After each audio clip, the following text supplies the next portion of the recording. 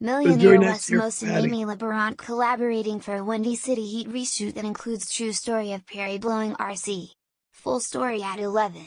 God damn! Stop putting that fucking gay garbage on my stream before I fucking throw you motherfuckers under the bus!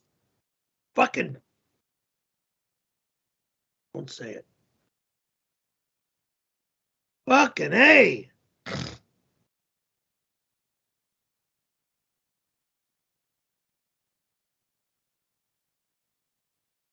Myself under the bus. Sick and tired of this shit. That was over 30 fucking years ago. Fuck, get over it already. Fucking queers. Hey Perry, knock it off. You're already. wh- wh- Why? Why was it necessary to say that?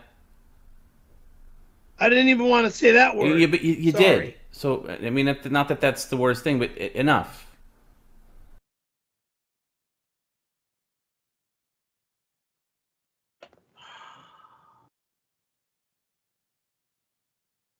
Gonna fucking blow it in my face and make uh, crush my head with it for another 20, No one's 30 okay, years. again. There was a Another 50. TMZ comment that came in. No one's crushing your head.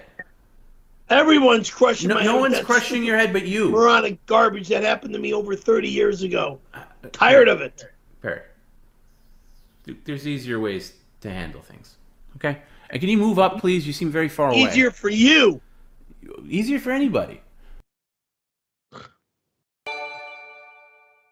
Elon Musk considering purchasing the credenza for $1,992. Not Says he will send to space on next rocket. Not Catch exclusive interview by allowed. At 11. It holds my fucking clothing, dickwad.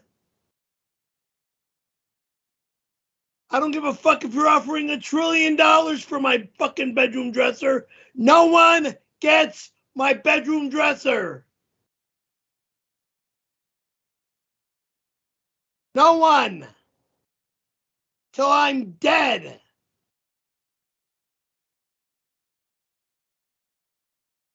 Son of a bitch.